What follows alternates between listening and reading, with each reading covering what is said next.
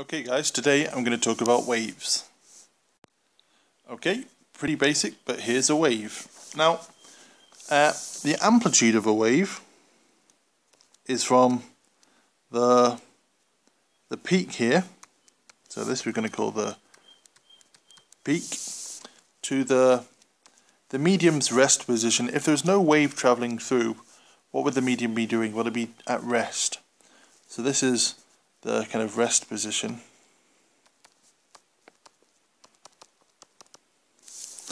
Now, the wavelength is the distance uh, between two consecutive waves.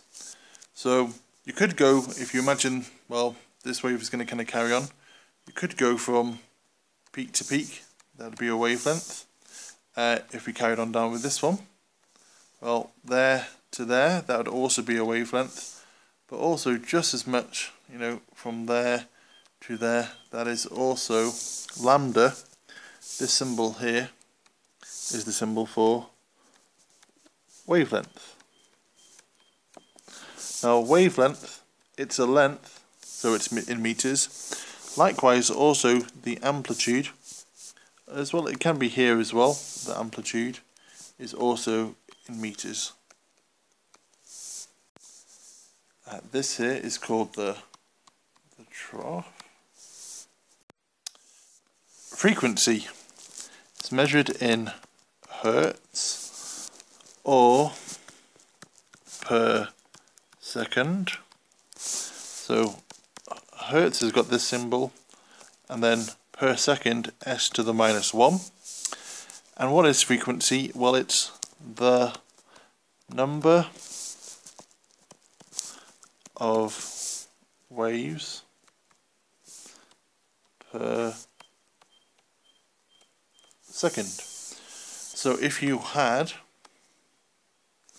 well here we've got uh, one, two, three, well three in a bit.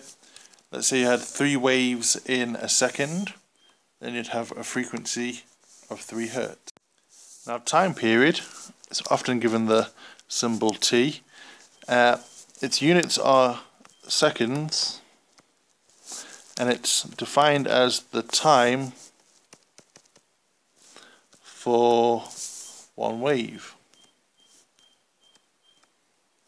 And there's a link between frequency and time period and that is that frequency is equal to 1 over the time period as long as we're talking about uh.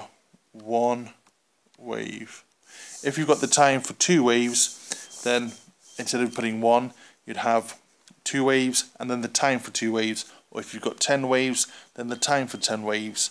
It'll give you the frequency. Now wave speed, that's the velocity uh, of the wave.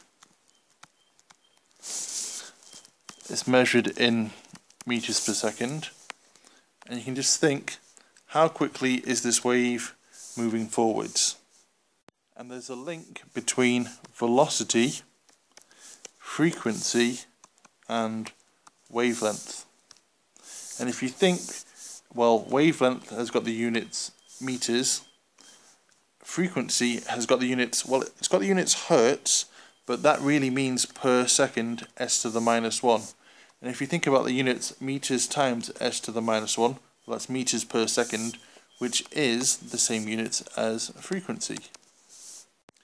So this is the uh, velocity, frequency, wavelength triangle. If you want to find out what the wave speed is, you do frequency times by wavelength. If a question is asking, well, what's the frequency, you do the wave speed divided by the wavelength and maybe a question's asking for the wavelength, well, wave speed divided by the frequency.